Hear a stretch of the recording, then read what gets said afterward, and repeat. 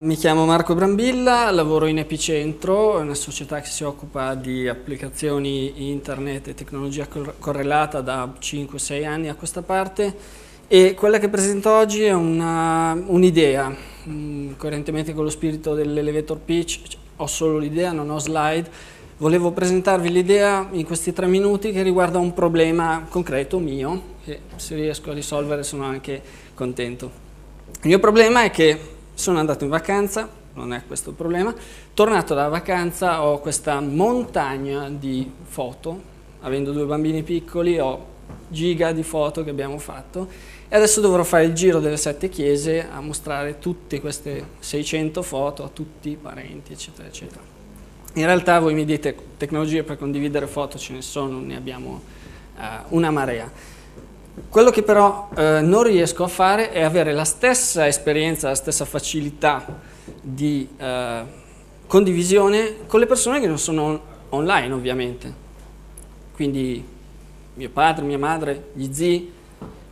il problema, sì, potrebbe essere banale, però mm, potrebbe anche essere affrontato pensando di non guardare in avanti all'ultima tecnologia disponibile correndo dietro all'innovazione, ma cercare di girarsi indietro verso chi adotta in ritardo queste tecnologie e però è lì dove secondo me si può guadagnare perché si va a coprire un gap.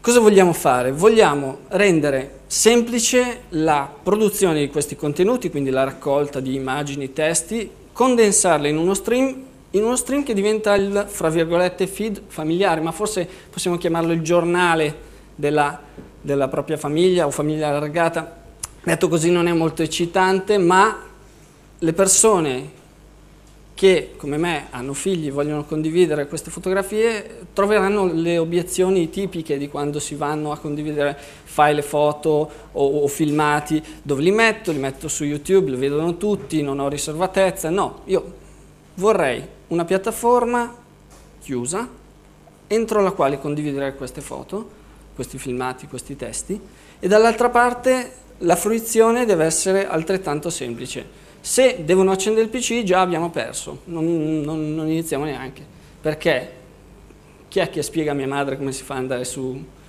Picasa, YouTube o qualcosa del genere? Quindi l'idea si compone di una piattaforma di elaborazione dei contenuti che vengono prodotti, ridimensionamento di immagini, adattamento dei testi, riformattazione, aggregazione e download in dispositivi evoluti, dove per dispositivo evoluto intendo qualcosa che dia un'esperienza d'uso tipo l'iPhone, facile da maneggiare senza tasti né frivolezze. Da qui la persona che lo utilizza mh, mm, vede incrementato man mano che le cose accadono, man mano che il tempo passa, man mano che eh, le, le, i dati e le, le informazioni vengono raccolte, vede aggiornarsi questo, questo flusso. Posso, posso, decidere anche magari di stamparlo piuttosto che mostrarlo su un dispositivo, posso decidere, oggi ci sono tanti, è possibile farlo, ma ci sono tanti piccoli passaggi, a me piacerebbe un flusso automatico del quale io non debba più preoccuparmi.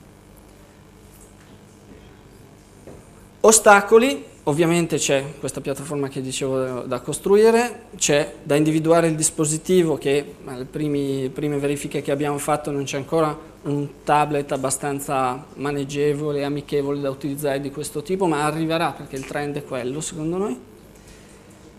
Dove vediamo eh, un vantaggio per l'investitore? Ovviamente qui c'è da vendere il servizio, è un servizio tipicamente da, da, vendere a canone con magari anche il noleggio del dispositivo incluso nel canone nel fee, della, nel fee dell'abbonamento. Eh, concludendo, se avete mai avuto occasione di condividere informazioni con persone che non sono online, non sono non in formato digitale, avrete notato una certa eh, resistenza da parte loro, la nostra idea è che quella resistenza sia giustificata e che dobbiamo essere noi ad andare in quella direzione. Grazie. Domande? Domande? Prego.